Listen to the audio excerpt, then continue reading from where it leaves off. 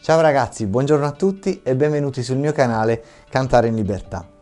Oggi parliamo degli accordi, che cosa sono, come si formano e che utilizzo hanno. Cantare, cantare in libertà. Un accordo è un insieme di minimo tre note suonate simultaneamente anche due, però due note si parla più di bicordo anziché di accordo. Quindi diciamo minimo tre note che sono la prima, la terza e la quinta di una scala, almeno quello fondamentale di base è così. Uh, facciamo un esempio in Do maggiore. Quindi la scala di Do è Do, Re, Mi, Fa, Sol, La, Si, Do, quindi il Do è la prima, la terza sarà il Mi, e la quinta sarà il Sol. Quindi l'accordo di Do maggiore si forma suonando Do, Mi e Sol ovviamente insieme e sentiamo che questo, questo è il famoso Do maggiore. Ovviamente l'insieme di note deve essere un insieme eh, di note che tra di loro vanno appunto d'accordo, altrimenti prendiamo tre note che non vanno d'accordo e quindi sono dissonanti, non va bene. Quindi io vi parlerò soltanto degli accordi maggiori e minori. Qual è la differenza? L'accordo maggiore, abbiamo detto Do Mi Sol, è un accordo abbastanza felice, appare felice. L'accordo minore è un accordo che risulta essere un po' più triste e che cosa cambia? Cambia soltanto la terza, cioè la nota che sta al centro. Quindi da Mi scende un mezzo tono e quindi, e quindi diventa Mi bemolle. Quindi l'accordo di Do minore sarà Do, Mi bemolle, Sol. Sentiamo che è un po' più triste. Questo è maggiore, maggiore, minore, maggiore, minore. Ok? Sarebbe un video troppo lungo se io vi volessi spiegare tutti gli accordi e tutte le soluzioni, vi dirò soltanto almeno gli accordi maggiori e minori per ogni nota. Quindi Re maggiore sarà Re, Fa diesis, La. E Re minore ovviamente scendendo il Fa diesis di mezzo tono sarà Re, Fa, La. Il Mi maggiore Mi, Sol diesis, Si ovviamente minore, Mi, Sol naturale, Si. Il Fa alla stessa posizione del Do, Fa la Do, Sol, Si, Re, La, Do diesis, Mi, questi sono tutti maggiori, Si, Re diesis, Fa diesis sarà il Si maggiore.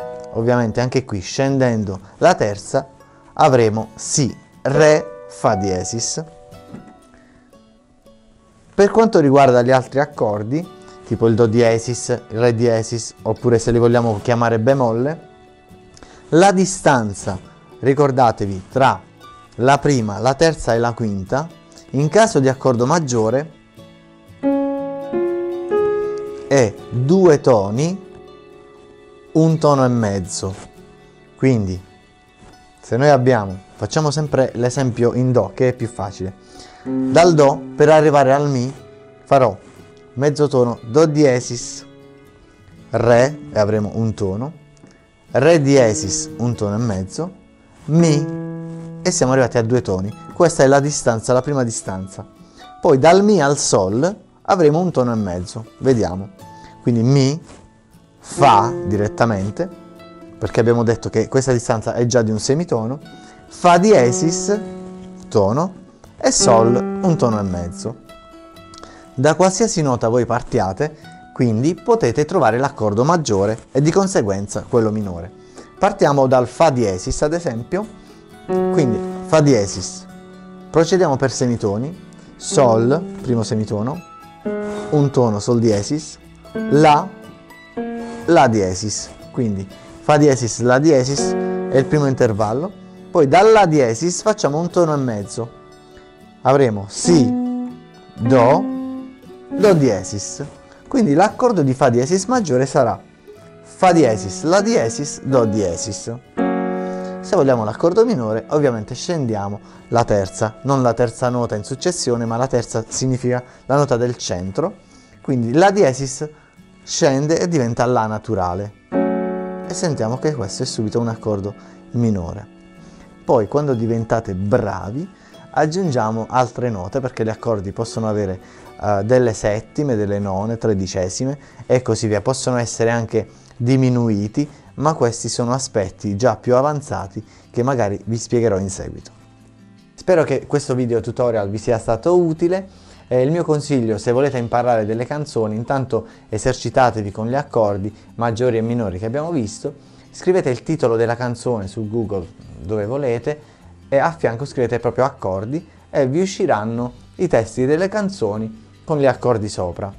Attenzione a un particolare, quando gli accordi sono scritti in inglese, perché gli inglesi guidano a sinistra, fanno tutte le cose al contrario di noi, anche gli accordi li scrivono in maniera diversa, A corrisponde al nostro, corrisponde al nostro La. Quindi in ordine loro partono dalla nota La, La, Si, Do, Re, Mi, Fa, Sol, quindi sarà A, B, C, D, E, F, G. Se c'è una M piccola accanto, significa che quell'accordo sarà minore. Quindi C, M piccola sarà Do minore, ad esempio. Buon divertimento! Ciao, se ti è piaciuto il video ti invito a mettere un bel mi piace qui in basso e se non l'hai ancora fatto ad iscriverti al mio canale. Seguimi inoltre anche sulla pagina Facebook Cantare in Libertà e se hai delle domande da rivolgermi non esitare a scriverle nei commenti. Grazie.